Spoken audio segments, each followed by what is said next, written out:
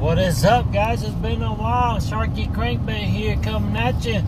Hey, listen, um, I'm on my way to uh, Lake Arrowhead over there, Wichita Falls, for a tournament. I probably shouldn't be doing this while I'm driving, but uh, it's been a while.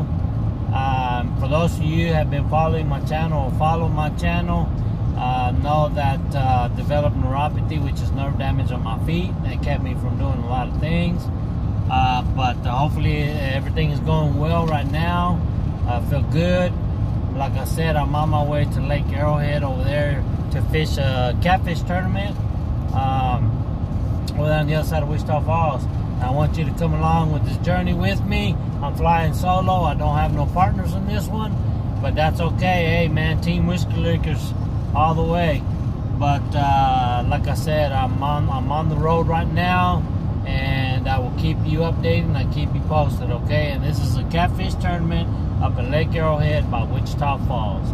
Sharky Crankbait here, Team Whiskey Lickers. Hey, don't don't forget to like, hit that like button, hit the notification, and uh, subscribe to my channel, okay? All right, I'll keep you posted. Peace.